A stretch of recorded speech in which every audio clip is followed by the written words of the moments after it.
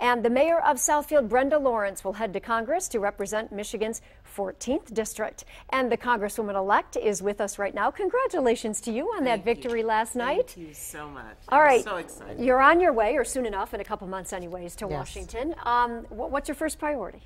First priority is um, the results of the election. The people have spoken. The votes are in. And I'm going to have a challenge working across the aisles, trying to build some consensus. But you know, I had an amazing conversation with uh, Congresswoman Miller and uh, Candice Miller, and she I want to be on transportation because this state has so many needs uh, when it comes to our roads, our infrastructure, water, the bridge, the international bridge, the high speed rail, the M1 rail.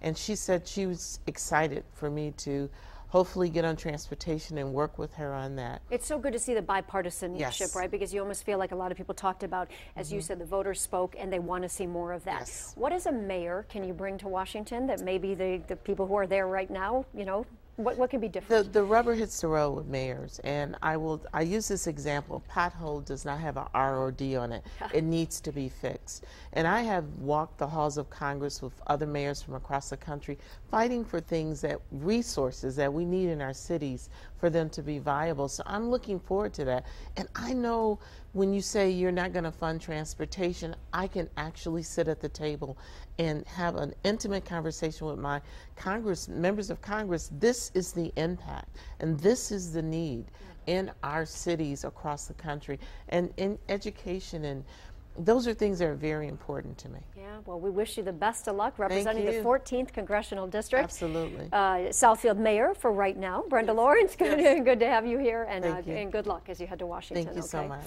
Make